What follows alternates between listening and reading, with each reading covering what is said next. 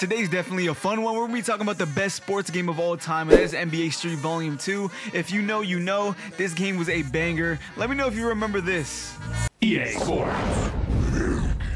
When that intro happened, you know the game was going to be a banger. If it was NBA Street, NFL Street, even FIFA Street, all these games were bangers. This is when EA Big was definitely in their bag with these arcadic, you know, sports games. And I think NBA Street Volume 2 was the pinnacle and peak of these games. NBA Street 1 was great. NBA Street 3 was like, you know, they were doing a little too much and it just didn't have the same charm as the second one. And I think NBA Street Volume 2 is confirmed the best sports game of all time. Let me know in the comments what you think and did you play this one growing up?